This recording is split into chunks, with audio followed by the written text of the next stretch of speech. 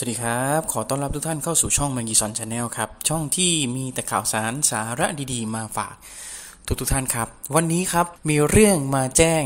นะครับ แจ้งเตือนสำหรับเจ้าของกิจการ SME นะครับ ในเรื่องของการยื่นเพื่อขอรับสิทธิ์เยียวยาจากทางรัฐบาล และที่สำคัญครับ ยื่นที่ไหนก็ยื่นที่ในส่วนของประกันสังคมนะครับสำหรับเจ้าของธุรกิจ SME นะครับ เพื่อลงทะเบียนรับเงินเยียวยา 3,000 บาทนะครับจำนวน 3 เดือนต่อลูกจ้าง 1 คนนะครับ แต่ไม่เกิน 200 คน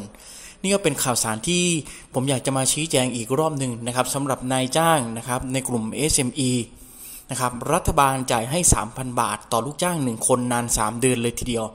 นะครับสามารถลงทะเบียนได้ ซึ่งการลงทะเบียนเนี่ยจะหมดเขตในวันที่ 20 พฤศจิกายนนี้นะครับ ในส่วนของการเยียวยานายจ้างธุรกิจ SME นะครับลงทะเบียนได้อย่างไร เดี๋ยวผมจะทิ้งลิงก์เอาไว้ให้นะครับเดี๋ยวผมจะทิ้งลิงก์เอาไว้ให้ ในเรื่องของรายละเอียดต่างๆ แล้วลงทะเบียนนะครับ ย้ำอีกรอบหนึ่งครับ หมดเขตวันที่ 20 พฤศจิกายนนี้ครับ ในเรื่องของการรับเงินเยียวยา 3,000 บาทจำนวน 3 เดือนนะครับจำนวน 3 เดือนสำหรับเยียวยานายจ้าง นะครับ ธุรกิจ SME ให้ในเรื่องของ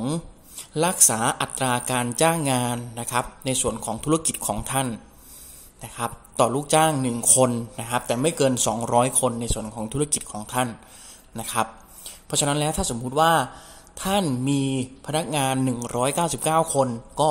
คูณ 3,000 เข้าไปนะครับ อันนั้นก็คือรายได้หรือว่าเงินเยียวยาที่คุณจะได้รับจากทางรัฐบาลนะครับ ก็ง่ายๆเลย 3,000 บาทต่อคนจำนวน 3 เดือนนะครับ และที่สำคัญครับหากมีการหากรักษาสภาพในเรื่องของการจ้างงานนะครับ น้อยกว่า 95%เดือนนั้นเนี่ยคุณก็จะไม่ได้รับเงินเยียวยานะครับ หรือหากธุรกิจไหนนะครับที่มีการจ้างงานเกินนะครับ คุณก็สามารถรับส่วนต่างเกินได้นะครับ ทางประกันสังคมก็มีการชี้แจงเอาไว้ นะครับก็ย้ำเตือนกันอีกรอบหนึ่งครับ หมดเขตในเรื่องของการลงทะเบียนรับเงินเยียวยาของธุรกิจ SME นี้นะครับ หมดเขตวันที่ 20 พฤศจิกายนนี้ครับ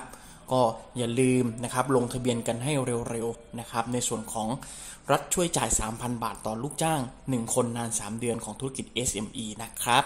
นี่ก็เป็นข่าวสารที่ผมนำมาแจ้งให้พี่ๆทุกคนนะครับที่เป็นเจ้าของธุรกิจ SME ที่